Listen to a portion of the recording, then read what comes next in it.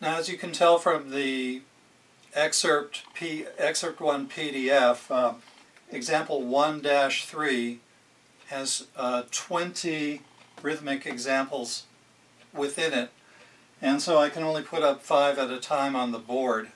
Now, what I'm going to do is I'm going to first do the count without playing anything, then I'm going to play and count the rhythm.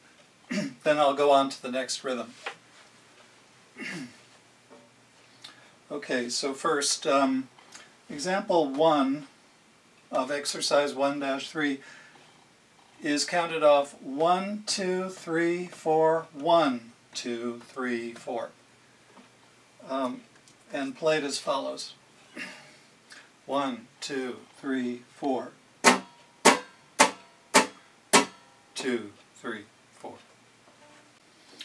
Example 2 is counted off. 1, 2, 3, 4, 1, 2, 3, 4. and played as follows.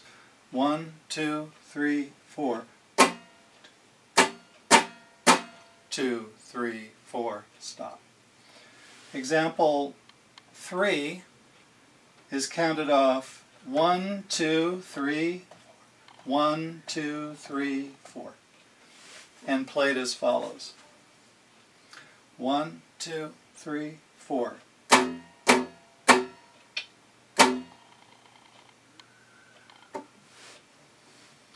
Okay, and guitar players, it's best if you keep your hand moving the whole time. I realize I didn't do that exactly for the first couple of examples, but I just uh, remembered. And here's example four. One, two, three, four.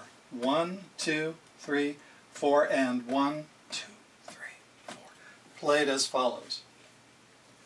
One, two, three, four. Two, three, four, and one, two, three, four. Stop. And finally, uh, example five. One, two, three, four. One, two, three, and four. One, two, three, four. Played as follows.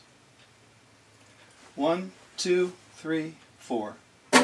Two, three, and four. One, two, three, four. Okay, I'll be back with uh, examples 6 through 10 in a moment.